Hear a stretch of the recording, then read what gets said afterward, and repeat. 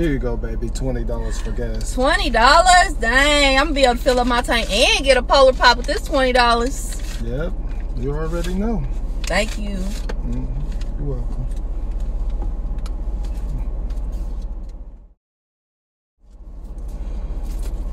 Here you go, baby. Twenty dollars for gas. Twenty dollars? What am I supposed to do with twenty dollars for gas? You know how far this finna get me? I'm finna show you. Finna be able to even get out the parking spot with twenty dollars.